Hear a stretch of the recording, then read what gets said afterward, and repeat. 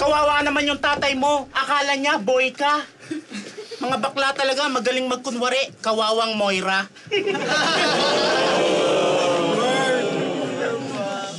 Hindi ka naman nagtatato. Alam yun ng lahat. Pero para kang si Wang Od nang hahawa ka ng burak. Mukha kang masamang baklang laging may masamang balak. Pag naging karakter ka sa ML, ikaw si Balmod na nakamanya. Tamang taglibog tong si Ogag pag nakakapanood ng Pornhub. Pag walang tao, pinagsasamantalahan yung nananahimik nilang doorknob.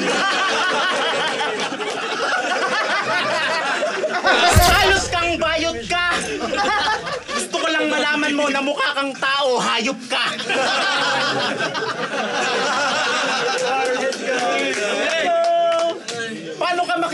Makikipagtigasan? Wala kang kasing lambot.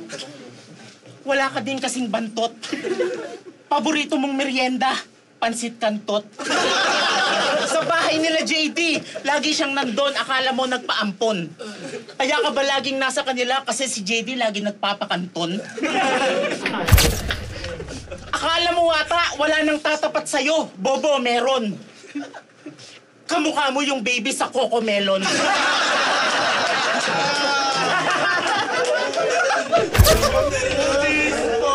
Yo! Ako lang ba nakapansin pare? Kamukha mo si Boogeyman sa wrestling yung kumakain ng bulate. Pero ito ang kinakain, burat eh. Kung si Looney bukas na libro, ito mukhang puwet na binuklat eh.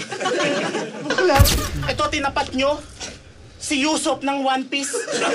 Walang kahirap-hirap. Baka nakakalimutan mo, pinaglaruan ko lang yung Master Luffy ng Flip Top. Deo, sana malaman mo sa iyong sarili na kaya ka lang naman naging putok kasi pangalan mo nilalagay sa kilikili. Tayo, ma.